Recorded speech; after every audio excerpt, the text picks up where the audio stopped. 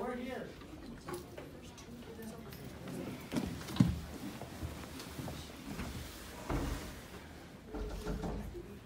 Yes. Sheriff's office. Safe to come out. Yeah, he said it's safe to come out. Now we're not willing to take that risk right now. I can't hear you. We're not taking that risk right now. Okay, well, come to the door. Yeah, bro. He said, bro.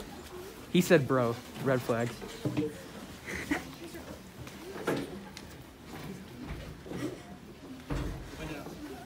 Go.